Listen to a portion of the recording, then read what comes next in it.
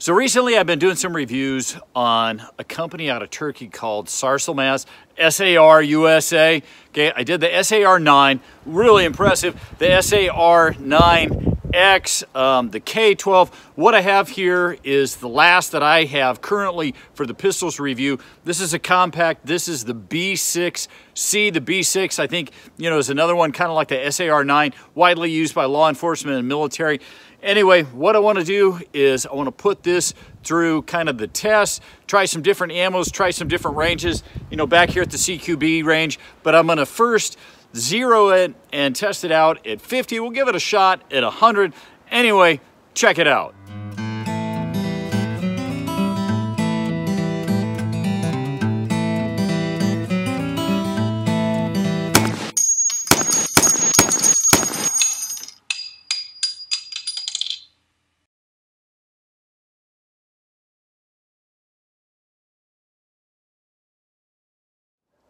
I'm Drew Case. Welcome to Beyond Seclusion, where I only give you my honest opinion, and it is what it is. So, like I said, I've been doing some reviews on the SAR USA pistols. Um, what I've got here is the B6C Compact. You know, first thing I notice out of the box, you know, it, let's just do a quick out of the box. Let me show you the features on the specs and tech. Check it out.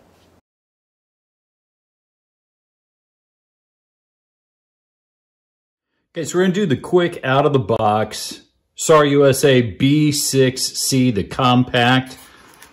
Comes with the usual instruction manual, cable lock, sticker. We've got a couple of cleaning supplies in case you don't have those. We've, and then the gun itself.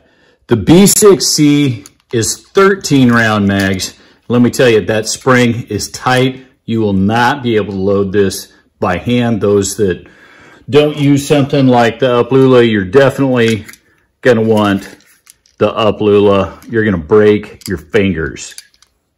Okay, so the compact version, you know, we've got mag release, slide release, which is not ambidextrous. We do not have an ambidextrous safety.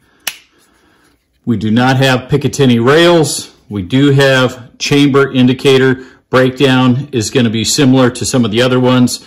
Okay, double check and make sure empty.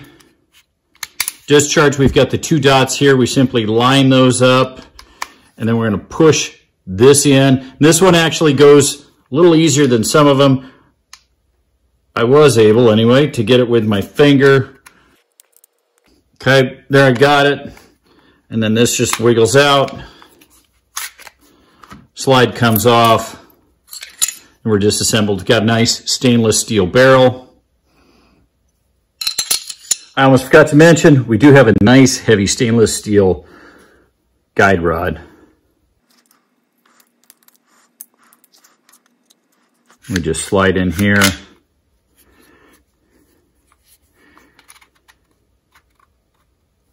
Get those dots lined up.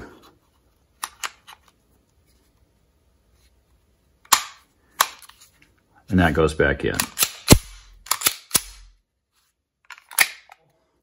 Trigger pull on this is nice. It's a consistent five and a half pounds. One thing that I really do like about this is the double action. So we get the first pull, little bit of travel, fairly clean break, okay? But let's say we have a light primer strike, maybe we're shooting some steel cased hard primer. We can go back and pull for a second and a third time. My experiences is often on a second or a third, it will discharge and it saves you from having to do a quick eject. And I'm just kind of old fashioned. I like hammers. I like hammers because I can have something in the chamber and I can have the hammer down and then I can just pull the hammer back like my 1911. As far as the mag release here, we do have scallops on both sides. Should the mag, for whatever reason, be tough, it gives you something to grab on. The grip. Now, as far as the grips go, I don't like these near as much as I do the other. You know, they've got some texturing. I just don't find it particularly comfortable in my hand. It kind of flares down here and having small hands, not a real good fit for me. We've got a real curved trigger here. The other thing is, is as far as thumb placement on either side, we don't have any kind of texturing or shelves or any place that's really comfortable. I can't find a really comfortable place to put my thumb other than to rest it here. I usually like to have it up here on the slide, but this plastic here gets in the way and I really can't get my thumb up here on the safety to use that as a rest, at least not comfortably. The slide itself is, is kind of sexy, streamline cut.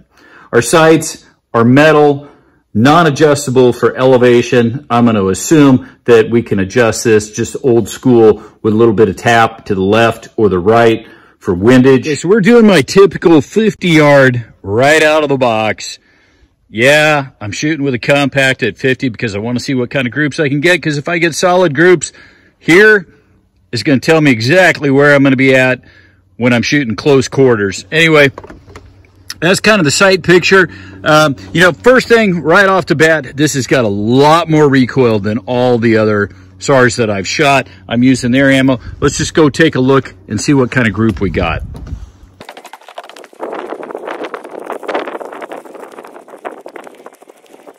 hey, that's a that's a pretty acceptable group from 50 yards right out of the box with a compact. I'm happy with that, guys. I'm really happy with that. Haven't seasoned the barrel, don't plan on seasoning the barrel. I'm not to do it with a compact. I'm not to do anything with the sights.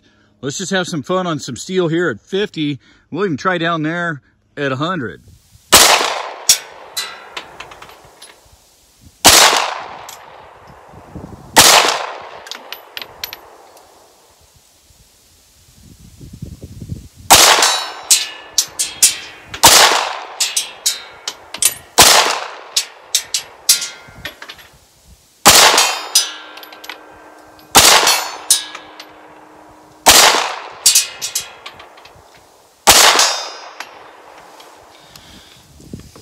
You know, I can already tell you this is not going to be comfortable for me.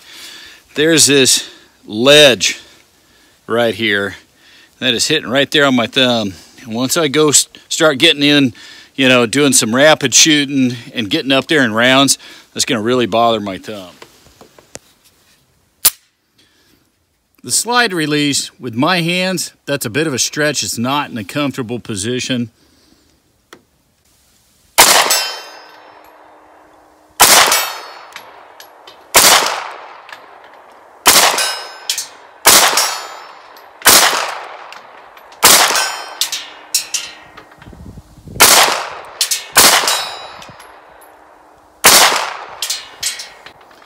pretty light trigger pull.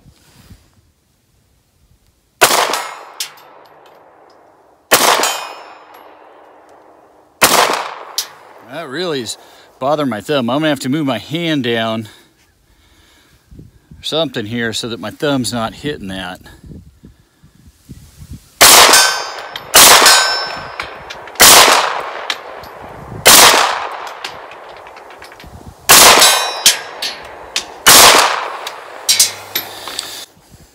really, really do not like this plastic ridge here. For me, personally, I can already tell you that's going to take this out of the running for me. Okay, so as far as accuracy and groups, you know, really can't complain. I, I, was impressed what it was doing at 50. You know, the whole thing though with the ergonomics and, you know, this plastic ridge here, was really not feeling very good on my hand. The grip's hard. Fortunately for me today, it is cold outside. So I've got some gloves on. We're gonna see if that negates that. I don't know that that's gonna change my mind as far as the ergonomics and the feel of this, but anyway, what I wanna do here is start running through some of SARS ammo because they do recommend their ammo, but like I've seen on all the others, it ate up and spit out anything I put in it. Let's get to work. Okay, so back here at the CQB range, I just want to test a variety of ammo. To make sure we don't have any kind of hiccups, jams, light primer strikes with some of the steel cased and just some of the other common ones. We've got 147 grain here. Sometimes this gives stuff a bit of a trouble because it's, it's almost like a wad cutter. Anyway, let's just get started on this. Okay, so we'll just start off here up close. You know, we did the 50. Let's just see how it does.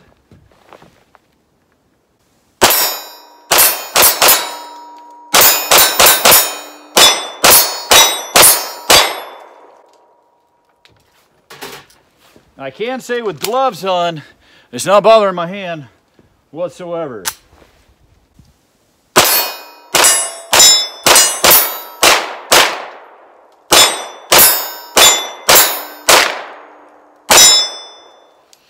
Okay, so now this is gonna finish that 50 round box of the SAR ammo. What I wanna do is I wanna try this one-handed when I was doing the 50 yard zero. I did notice this felt like it had a lot more recoil than than the other SAR USA pistol. So let's just see what we can do. Uh, and you can watch those other videos and compare.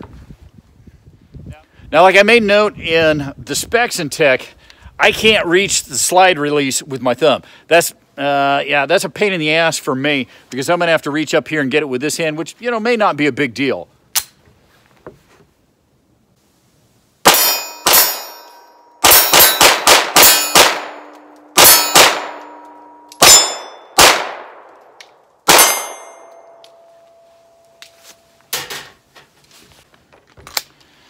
Will say that it is harder to keep this on target and get a sight picture than it was some of the other ones.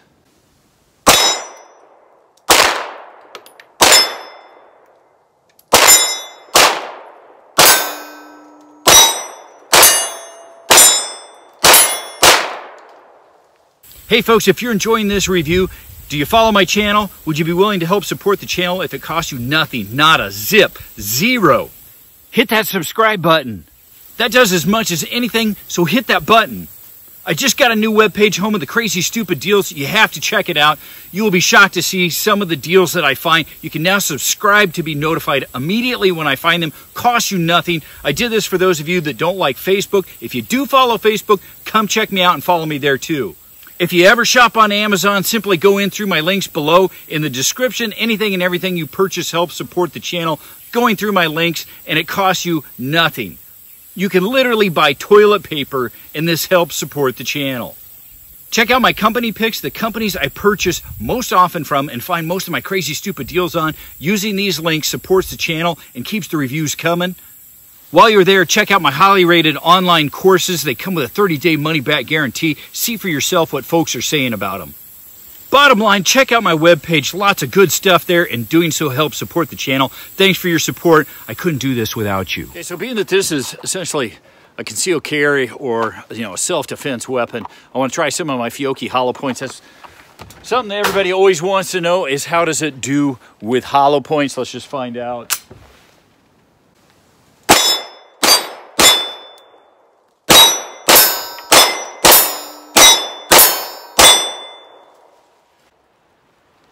Not bad. Now, I can say, too, I'm not having great luck reaching over here and pushing this. It doesn't stick out enough for my hands, but again, I got small hands when I can reach it. It is dropping. Another thing, though, that I'm not super excited about. So when I was getting a zero to 50, you know, I was complaining kind of about this ridge here, so I went ahead and took my glove off just to see, you know, if it was maybe a one-time thing. We're gonna test some American Eagle here. Let's give this a go.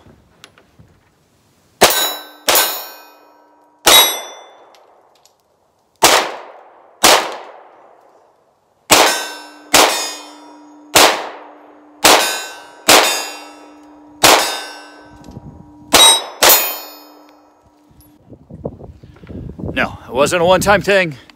You can see here, my hand is hitting this. This is this is a ridge. This is elevated. This is a serial number. I really don't know why this is put here. This, in my opinion, is the absolute worst place to put this along with this plastic ridge. So no, I'm gonna put my glove back on because it is not comfortable shooting this with my hands. I got small hands. I don't know if it's an issue for others, but for me, like I said earlier before, that's gonna be a deal breaker for me. Okay, so I've got these 147 grain, okay? They're almost like wad cutters. Let's just see how these do. I have had these cause issues with several guns in the past, and again, can't reach that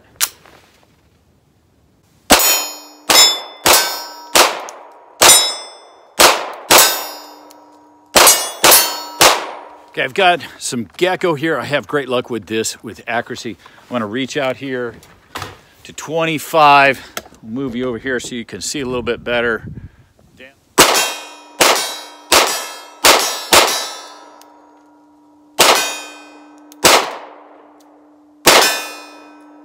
See now, Yeah, boy, it's got a long, long reset, and I'm missing that.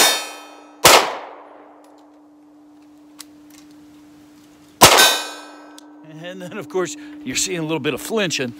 With this long reset, yeah, you have seen some flinching. Hey, you know, what can I say? It is what it is.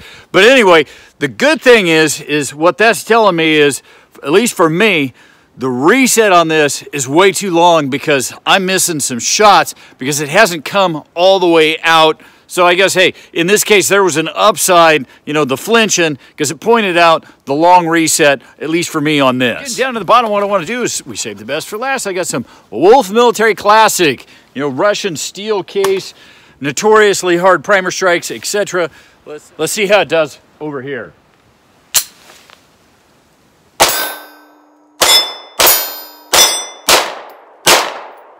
There's that reset.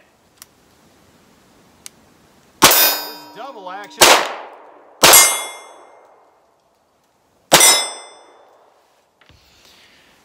Guys, I'm gonna be honest, I don't like the trigger on this. Okay, last, Tula, steel cased. Let's see how this does.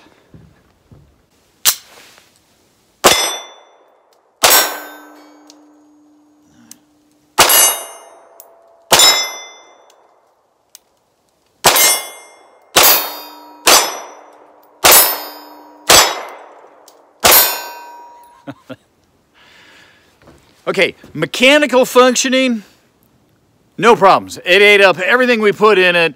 No issues, no light primer strikes. It ate the Wolf and the Tula. Granted, you know, that wasn't the most extensive study. Um, bottom line, guys, this is not something that I particularly like. It is not ergonomic. It is not comfortable for me to shoot. The trigger, you saw uh, some flinch in there. The trigger, the reset, um, it just doesn't transition well for me. It doesn't shoot well for me. And those thinking, you know, maybe he's just not a good shot, watch some of the other videos. You know, I'm not a bad shot. Anyway, okay, guys, there you go. It is the SAR B6C. Um, yeah, it, it's not my favorite, okay? The, the trigger, the long reset was giving me problems on there. It was bringing out that I've got some flinching to work on. Uh, but, you know, it, it wasn't even coming all the way out, and I was pulling the trigger again, and it hadn't reset. It's not comfortable. The ridges here, they rub on my hand the slide release. Anyway, for me personally, that's my thoughts. It is what it is. You decide what you think. Hopefully you found this helpful. Be sure to like, comment, and sub. Until next time, guys, happy shooting. Remember, educate our young people to guns and gun safety and be a safe and responsible gun owner.